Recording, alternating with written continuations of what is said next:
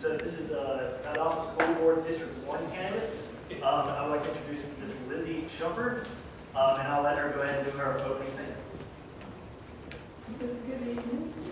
My name is Lily Shumphard. I'm a candidate for Valdosta School Board District One. I am married to your A. Shumphard Jr. I have three children, five grandchildren, and three great-grandchildren. I'm a graduate, nineteen sixty-eight graduate of Westside High School. And I am employed by Buckeye Technical College. I'm a former employee of the Valdosta City School System, where I work as a parapro. I am glad to be here tonight, and the reason I want to run for this position because of the love for my community.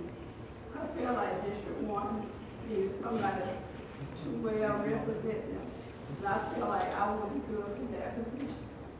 Thank you. Well, given there's only one candidate, I, I just assume you know all these candidate questions are coming right to you. so.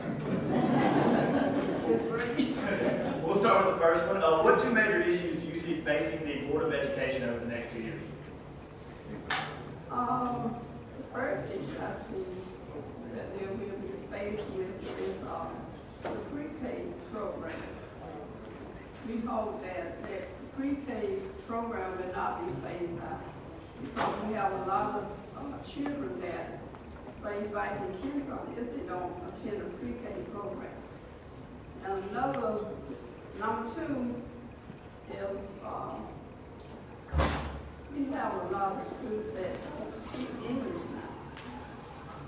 Uh, Like, you know, back when we were going to just, you know, English. But now we have a lot of foreign students in the classroom that, you know, that need to be addressed.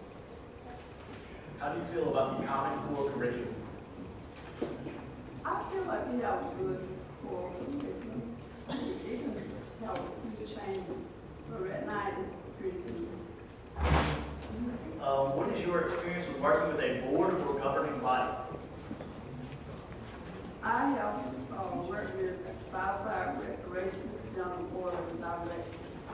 So I was on that board.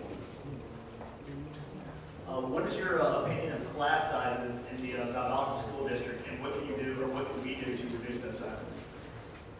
I think we need to reduce some of the size of our classroom. Less students you have to teach, more you can work those students one-on-one. Thank you. Well, there's only one candidate, we got through the questions a lot quicker, apparently. Um, So we'll go ahead and move on to the uh, closing statement. Oh, that's good. Um, I do know, I feel like I'm well qualified for that, you know, for the position of, on the board of directors. Due to the fact I worked as a parapro in the classroom for many years, and I have that on-hand experience, and I see what goes on in the classroom, and, uh, I feel like I can work with anybody on the board. Because I'm a person that, you know, works with anybody. And, um, I like to see the students, you know, especially the younger students, have a good foundation coming into the classroom. Because if they don't get that good foundation at an early age, then they will have problems later on. I had mentioned one time that we should, um, due to the uh, foster grant pro, foster parent program, that we should bring some retired teachers into the classroom to help with the struggling students. Because, uh, the foster parents that they are not there, they're just to help. We don't babysit, but we need to make that break for us. And I feel like I am well qualified, and I will solicit you all folks